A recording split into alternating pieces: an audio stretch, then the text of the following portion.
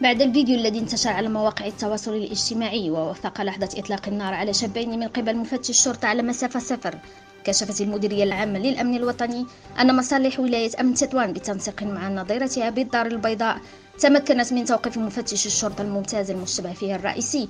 في واقعة إطلاق النار باستعمال السلاح الوظيفي التي أدت إلى وفاة شخصين بمدينة الدار البيضاء. وأوضحت المديرية في بلاغ لها أن توقيف المشتبه فيه جرى بمنطقة كابونيغرو بتطوان وذلك بناء على نتائج الأبحاث الميدانية المكثفة التي عقبت تسجيل تورطه في ارتكاب تجاوزات مهنية وقانونية خطيرة خلال استعماله لسلاحه الوظيفي ومباشرة بعد إصدار المديرية العامة للأمن الوطني قرار يقضي بتوقيفه عن العمل. وتم وضع المشتبه فيه تحت تدبير الحراسة النظرية. رهن إشارة البحث الذي تشرف عليه النيابة العامة المختصة. لينضاف بذلك إلى ستة مشتبه فيهم آخرين. تم الاحتفاظ بهم رهن نفس التدبير. هذا وأثر الحديث استياء مواطنين مغاربة من الإفراط في استعمال القوة من قبل رجال الأمن داعين إلى الحكمة الأمنية.